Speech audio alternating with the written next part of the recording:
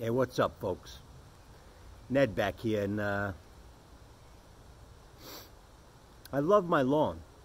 I do. You know, it's uh, I I I, I, want to take care of it. I want it to go well, and I got like ahead of myself the other day, and and I tried to get rid of the weeds. There's lots of weeds, and and I mean, they, I don't think they mean harm, but it was bothering me because my grass was trying to grow. So I sprayed it with something that I bought at the store.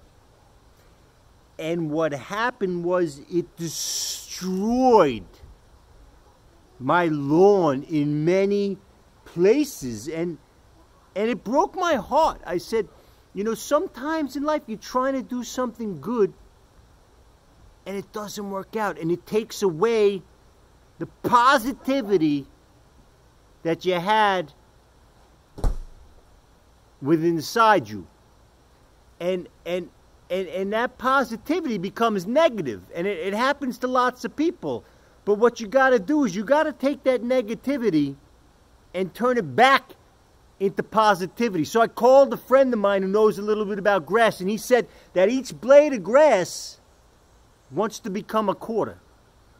And I planted, and he planted, and seedlings are starting to come up because I nurtured them with water, the source of life, for days. And I'm seeing the fruits of my labor and my love and something I did that was negative that's now growing into positivity. And you know, folks, the only thing better than that is, is, is seeing that with someone you love who's been negative, but knows how to take that negative energy and turn it to positivity. So today, folks, I got Mr. B with me.